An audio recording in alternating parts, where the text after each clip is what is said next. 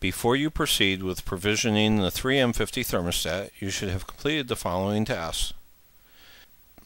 Installed the 3M50 thermostat and tested to make sure it is working correctly as a standalone thermostat.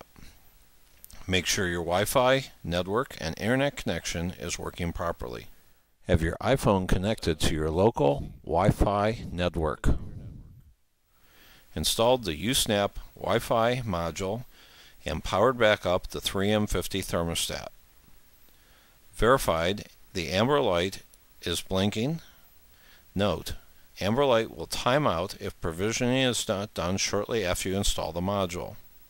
You should also copy down the PIN number in the upper left hand corner of the screen. It will be used later in the provisioning process.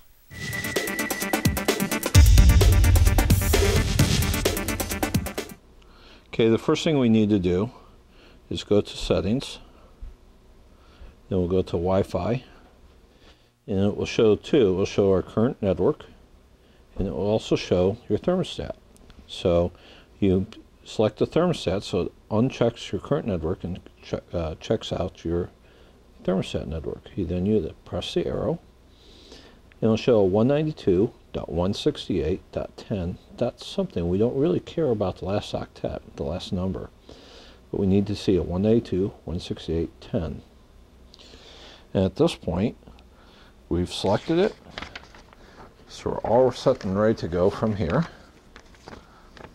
The next thing we need to do is go ahead and close the screen. We go to our web browser. Then we need to open up a new page on our web browser. Go to new page.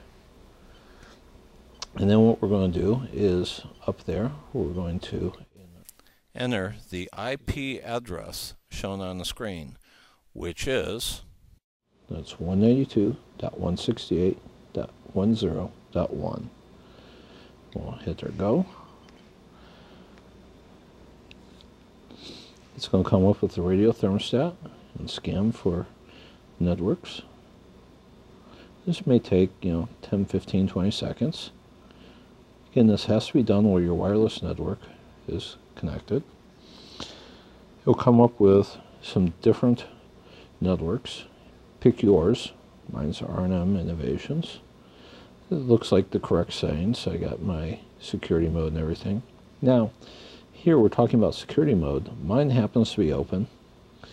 If you have a password to get into your network, this is where you need to enter the password. You then press next. And we're going to get a password off of the thermostats in the upper left hand corner. And it'll be different for everyone. So we go ahead and it's a numeric and it's five digits. In our case, it's 9, 2, 2, 5, 3. Let me see. Go ahead and set the network. Now it says provisioning is done. They've collected all the data that's needed. And you can scroll up and read all about that. Now let's go back to the thermostat we can see that the green light is flashing, meaning that we're connected, and up in the upper left-hand corner is the last three digits of our IP address. After that, we need to go back to the iPhone and look at it and get it set up so that we can go to our next step, registering the 3M50 via the RadStat app.